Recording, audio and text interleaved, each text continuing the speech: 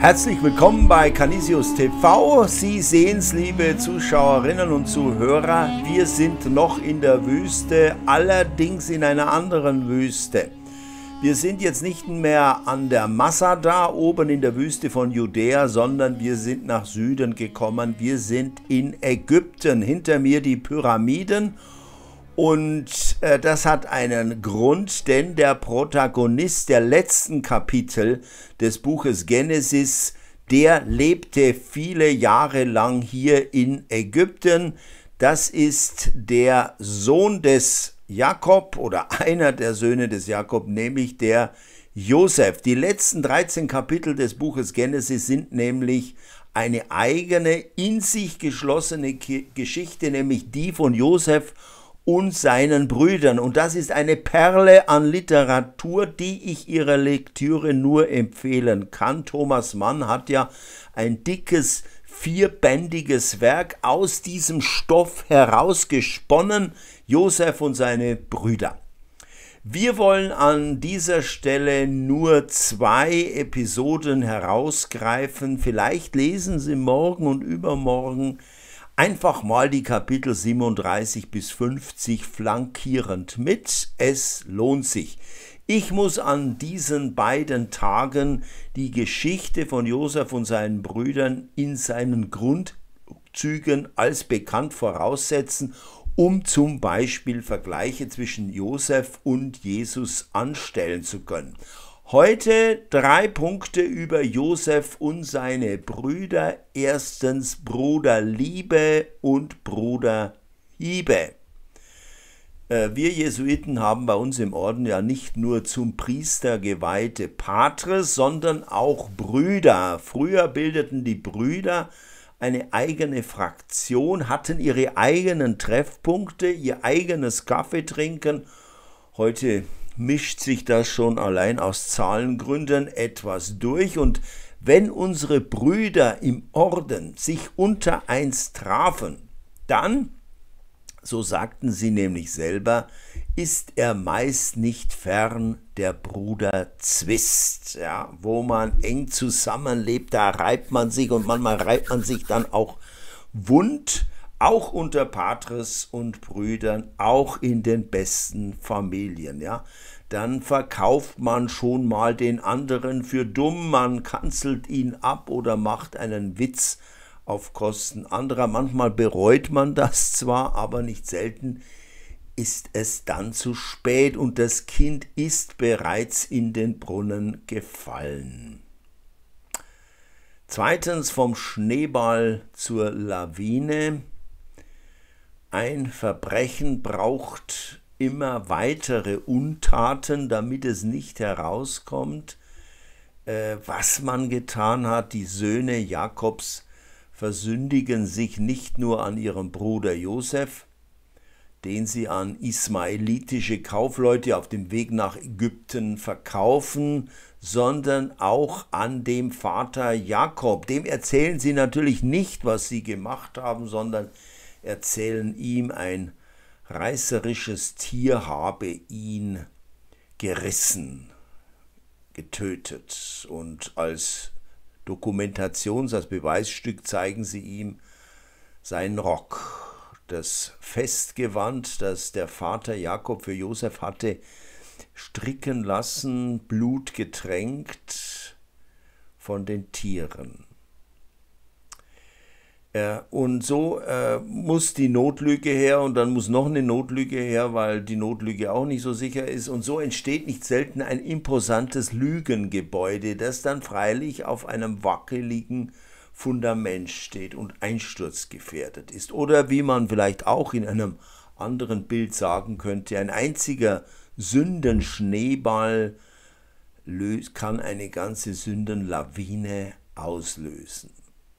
Und drittens und letztens vom Tellerwäscher zum Millionär. Wir wissen es, Josef wird das, Gott wird das Unheil über Josef und seine Brüder wenden. Aus dem verkauften Sklaven wird der Premierminister Ägyptens. Josef wird zum zweiten Mann gleich hinter dem Pharao und als solcher wird er seine Brüder und deren Familien vor dem sicheren Hungertod bewahren. Besser hätte Hollywood den Stoff für die Story nicht erfinden können. In der Osternacht singen die Christen von der Felix Culpa, der glücklichen Schuld. Ja, das bedeutet jetzt nicht, dass die Brüder sogar noch stolz auf ihre Untat sein können, ihren eigenen Bruder verkauft zu haben. Kein Sorry, macht nix, Schwamm drüber. Bitte keine Verbrechen verbrämen und zur Heldentat hochstilisieren. Aber Gott kann auch aus den schlimmsten Unheil Heil sprießen lassen. Ja, denken wir an Golgatha und Ostern. Niemand hätte erwartet, dass der verkaufte Sklave Josef einmal die Rettung für seine Brüder sein würde. Niemand hatte am Karfreitag erwartet, dass der gekreuzigte Jesus der Retter aller Menschen sein würde. Ein Gott, der das Geschick des Josefs so wenden konnte, ein Gott, der das Geschick Jesu so wenden konnte. Ein solcher Gott kann jedes Geschick wenden. Ein solcher Gott, der kann nicht nur einen Josef aus dem Brunnen sondern auch mich und dich aus meiner, aus deiner Krise herausholen.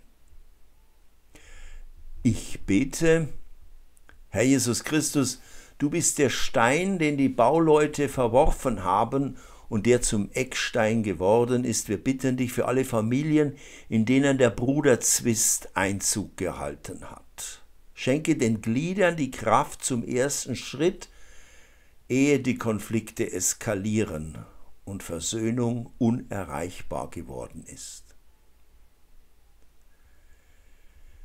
Wir bitten für alle, die sich in Sünde verstrickt haben und in ein Lügengebäude verschanzt haben, schenke ihnen den Mut zu freimachender Ehrlichkeit. Wir bitten für alle Menschen in ausweglosen Lebenslagen, die im Stich und alleine gelassen wurden, öffne ihnen eine Tür zu einem neuen Horizont. Wir beten in einer kurzen Stille in unseren persönlichen Sorgen und Nöten.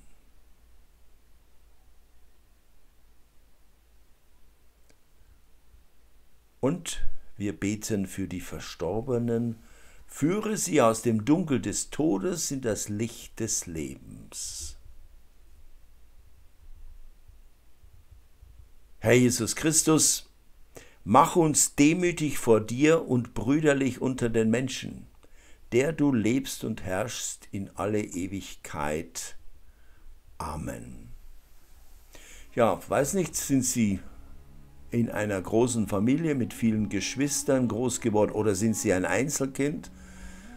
Das also weder den Segen noch die Schwierigkeiten von Geschwistern erlebt hat. Ich wünsche Ihnen einen gesegneten Tag und äh, dort werden Sie viele Brüder und Schwestern treffen, jedenfalls wenn Sie die Welt mit christlichen Augen sehen. Ich wünsche Ihnen einen guten Tag in geschwisterlicher Harmonie mit Ihren Mitmenschen. Der Herr segne dich und behüte dich. Der Herr lasse sein Angesicht über dir leuchten, sei dir gnädig, der Herr erhebe sein Angesicht über dich und schenke dir seinen Frieden und der Segen des guten Gottes, des Vaters und des Sohnes und des Heiligen Geistes komme über dich und die Deinen und bleibe bei dir alle Zeit. Amen. Morgen noch einmal Josef, bis morgen hier aus Ägypten. Tschüss.